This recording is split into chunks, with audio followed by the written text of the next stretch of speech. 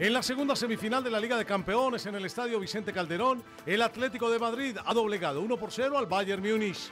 El primer tiempo de orden táctico de claridad en el equipo del Cholo Simeone frente a los dirigidos por Pep Guardiola que no encontraron el sendero de la anotación.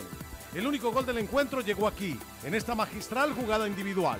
El canterano Saúl pasa por encima de Xavi Alonso y luego, en una arrumada de jugadores adversarios, termina rematando, cruzado para derrotar al arquero Neuer y marcar el único gol del encuentro.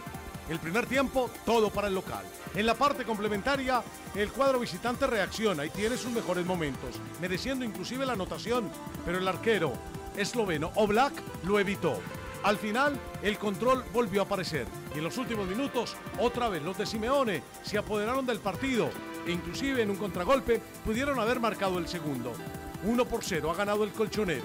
El partido de vuelta el próximo martes en el Allianz Arena, donde el Bayern Múnich tendrá la difícil misión de derrotar al que hoy por hoy es el mejor equipo en lo táctico del fútbol europeo.